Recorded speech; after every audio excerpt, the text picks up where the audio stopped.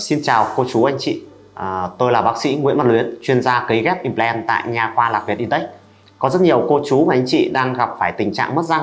nhưng lại vô cùng chần chừ không biết có nên lựa chọn phương pháp implant để khắc phục tình trạng này hay không. Sợ nguy hiểm sợ sau khi cấy ghép không những không thể ăn được như bình thường mà có khi còn rước thêm phiền toái bị đau bị chảy máu hay thậm chí là mất tích hợp chân răng và phải trồng lại nhiều lần tốn kém cả về thời gian lẫn chi phí thực hiện chính vì thế, trong video ngày hôm nay ờ, chủ đề chính mà chúng ta cần giải đáp đó là trồng răng implant có nguy hiểm hay không? Và để trồng răng implant được an toàn và hiệu quả thì cô chú và anh chị, những người đang mất răng cần lưu ý gì để tránh tiền mất tật mang? Khi đặt ra câu hỏi liệu rằng việc cấy ghép implant có nguy hiểm hay không, cũng như là tính an toàn của phương pháp này, thì ờ, cần khẳng định rằng cấy ghép implant không chỉ an toàn mà còn là một phương pháp phục hình răng tối ưu nhất hiện nay à, nếu được thực hiện đúng quy trình và sử dụng các vật liệu chất lượng cao với công nghệ tiên tiến việc cấy ghép implant không những không gây nguy hiểm cho sức khỏe mà còn mang lại nhiều lợi ích vượt trội không chỉ giúp uh, phục hồi được chức năng ăn nhai như là răng thật mà còn mang lại cảm giác tự nhiên thoải mái cả khi chúng ta giao tiếp hay là khi chúng ta ăn uống. À, điều này sẽ đóng vai trò quan trọng trong việc cải thiện chất lượng cuộc sống của các bệnh nhân mất răng. Và đặc biệt với ghép implant còn ngăn ngừa tình trạng tiêu xương hàm, tụt lợi nghiêm trọng. Đó là những vấn đề thường gặp khi mất răng lâu dài. Vậy thì cụm từ chúng ta cần tập trung nhất ở mệnh đề vừa rồi, đó chính là thực hiện đúng quy trình và sử dụng vật liệu chất lượng cao. Đúng là như vậy, nghe thì tưởng chừng đây là hai yếu tố cực kỳ đơn giản, nhưng để giải nghĩa chúng thì cần phải có đủ kiến thức chuyên môn về nha khoa nói chung cũng như là về cấy ghép implant nói riêng. Vậy chúng ta sẽ đến với yếu tố đầu tiên, quyết định việc trồng răng implant an toàn, đạt hiệu quả tốt nhất đó chính là vật liệu chất lượng cao Vậy các vật liệu quan trọng cần phải được lưu ý đến để có một kết quả cấy ghép implant thành công là gì? Chúng ta cần tìm hiểu về cấu trúc của một chiếc răng implant. Như cô chú và anh chị à, có thể nhìn thấy được ở trên màn hình, thì à, đây là cấu tạo của một chiếc răng implant. Đầu tiên, đó là chân răng implant. Thì à, chân răng implant này có vai trò đó là kết nối và truyền lực vào trong xương hàm. Thứ hai đó là trụ phục hình hay còn gọi là trụ abutment có tác dụng đó là lưu giữ chiếc răng sứ. Thứ ba chiếc răng sứ tác dụng nhai và nghiền nát thức ăn và hiện tại khi tôi tư vấn cho bệnh nhân thì tôi thấy uh, nhiều bệnh nhân chỉ quan tâm về trụ implant mà không hề để ý đến những bộ phận còn lại. Tuy nhiên thì uh, trong chuyên môn chúng tôi lại không quan tâm quá nhiều đến nó bởi vì uh, sau khi chúng tôi đã quyết định lựa chọn các hãng implant uy tín để chúng tôi gửi gắm thì uh, chúng tôi sẽ không còn quan tâm đến uh, cái trụ implant quá nhiều nữa yếu tố mà chúng tôi quan tâm nhiều nhất chính là trụ phục hình. Thì ờ, bệnh nhân lại gần như là không để ý đến. Ngoài ra thì ờ, bộ phận ờ, tham gia trực tiếp vào quá trình ăn uống cũng như là về yếu tố thẩm mỹ, đó chính là phục hình răng sứ thì mọi người cũng chưa được quan tâm quá nhiều. Chính vì vậy tôi cũng rất hy vọng là khi mà cô chú anh chị lựa chọn phương pháp trồng răng implant thì hãy hiểu rằng một chiếc răng implant chỉ có thể thành công nếu trụ implant đảm bảo trụ phù hình tốt và cả mão xứ ở bên trên cũng phải tốt nữa. Tuy nhiên thì ờ, hiện nay có rất nhiều các nhà khoa gặp phải hai vấn đề như sau. À, thứ nhất đó là sử dụng uh, trụ phục hình sản xuất sẵn. Như cô chú anh chị và các bạn thì uh, cũng có thể thấy được đây là một chiếc trụ phục hình sản xuất sẵn. Thông thường nó sẽ được tặng kèm theo trụ implant. Ưu điểm của nó đó là về giá thành uh, khá là rẻ. Tuy nhiên thì cái nhược điểm của nó đó là do nó chỉ có một uh, cái hình dạng duy nhất đó là tiết diện hình tròn thì chúng ta rất khó để có thể tái lập lại được cái hình thể giải phẫu tự nhiên của những chiếc răng. Dẫn đến hai vấn đề. Một đó là thẩm mỹ ờ, không được đảm bảo. Hai dễ bị rắc thức ăn vào vùng kẽ răng do nó không thể tạo ra được một đường viền lợi giải phẫu ban đầu. Nhược điểm thứ hai của trụ vô hình bán sẵn đó là do vật liệu chế tác bằng titanium kim loại. Titan này thì ờ, khi chúng ta à, lắp chiếc răng sứ lên trên thì nó sẽ gây ra cái hiện tượng nó là ánh cái màu xám của kim loại ra à, điều này thì sẽ làm ảnh hưởng đến thẩm mỹ của chiếc răng đặc biệt là đối với vùng răng cửa. Từ khi có sự ra đời của công nghệ in 3D và công nghệ kết kem thì người ta đã nghĩ ra một giải pháp đó là sử dụng trụ vô hình cá nhân hóa à, thiết kế riêng cho từng răng và từng người. Thì ở đây ờ, tôi đang có hai chiếc trụ phụ hình cá nhân hóa được thiết kế cho vùng răng hàm. Cô chú anh chị và các bạn thì có thể thấy được những chiếc trụ phụ hình cá nhân hóa này thì đã được thiết kế và được cắt bằng két kem theo đúng như hình dạng giải phẫu của chiếc răng. Điều này sẽ giúp tái tạo lại độ phồng lợi như tự nhiên. Nó sẽ làm phần nhú lợi kín khít và hạn chế tối đa việc tình trạng rác thức ăn. Ngoài ra thì ờ, với trụ phụ hình cá nhân hóa bằng zirconia thì ờ, sẽ giúp tái tạo lại được ờ, thẩm mỹ màu sắc giống đúc như răng thật. Và thông thường thì trụ phụ hình cá nhân hóa bằng zirconia thì lên được sử dụng cho những chiếc răng ở những các vùng uh, dễ quan sát như là vùng răng cửa, răng nanh để tái lập lại được cái thẩm mỹ tốt nhất. Vấn đề thứ hai mà các nha khoa gặp phải uh, đó là sử dụng các ờ, răng sứ có thẩm mỹ kém và cái độ bền thì không cao. Trên tay tôi đây đang là một chiếc răng sứ titanium có cấu tạo gồm hai thành phần chính. Thứ nhất đó là phần sườn kim loại ở bên trong, ờ, đúc thủ công theo dạng form gần như một chiếc răng. Sau đó thì người ta sẽ đắp lên cái sườn titan đó ờ, một lớp sứ để nó tạo ra được độ thẩm mỹ tương đối giống như là răng tự nhiên của chúng ta. Nhược điểm của chiếc răng sứ titanium này do nó được ờ, tạo thành bởi hai thành phần nguyên liệu khác nhau đó là titan và bột sứ. Do độ cứng của chúng không đồng nhất do vậy khi chịu lực ăn nhai thì uh, ờ, thành phần có độ cứng kém hơn đó là cái phần sứ bên trên thì sẽ dễ bị nứt vỡ trong quá trình ăn nhai sử dụng. Một cái nữa đó là do cái uh, thành phần titanium ở bên trong uh, sẽ làm cho cái màu sắc của uh, chiếc răng sứ này nó sẽ bị ánh màu xám đen của kim loại và sẽ gây ra cái vấn đề đó là mất thẩm mỹ.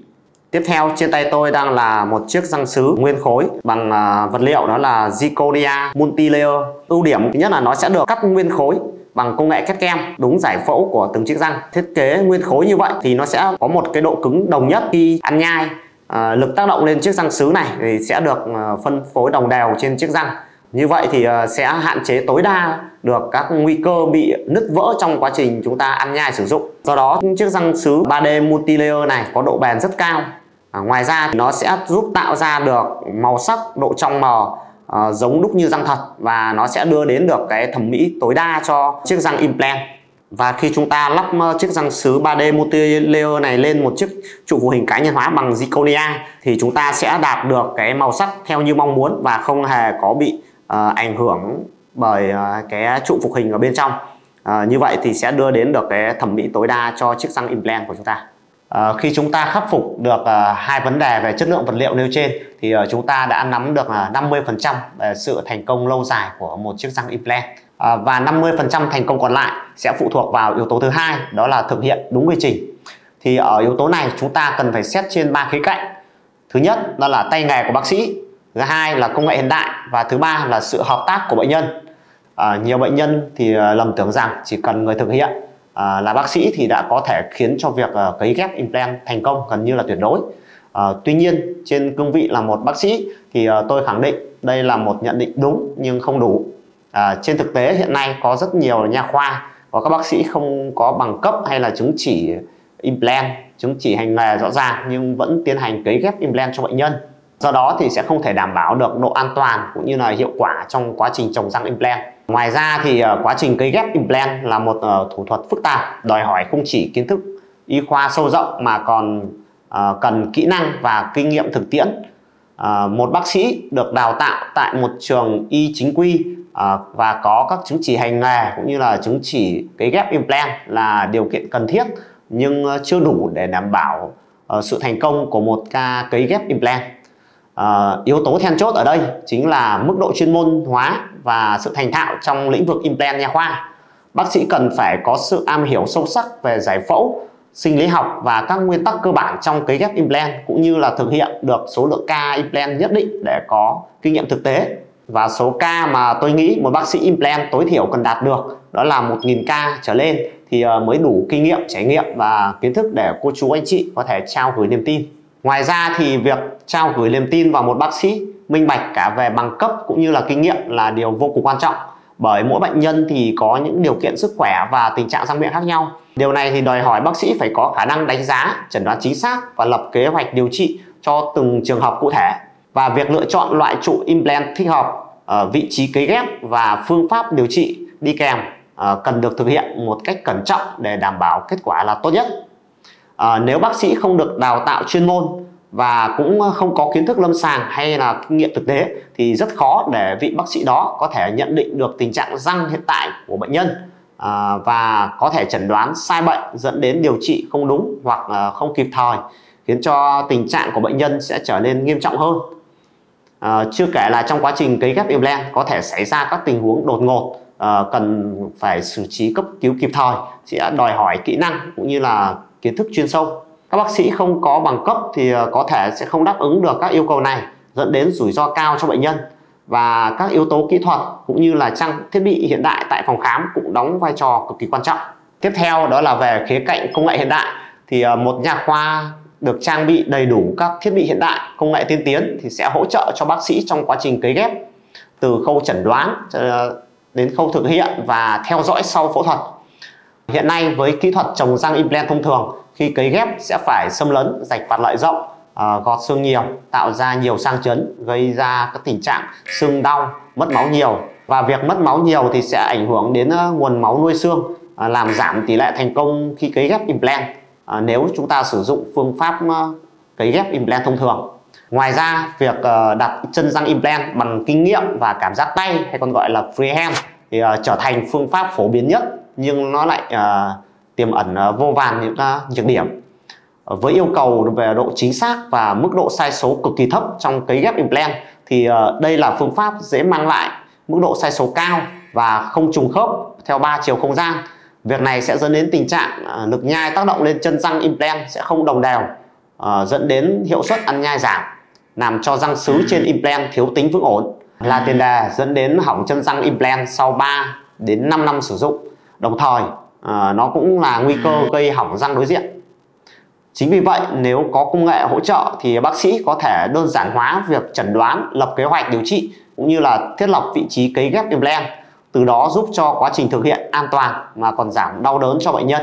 à, giúp cho bệnh nhân được thoải mái hơn. Ở nhà khoa Lạc Việt Intech chúng tôi đang áp dụng giải pháp DCT hỗ trợ công nghệ vào trong quá trình cấy ghép implant cho bệnh nhân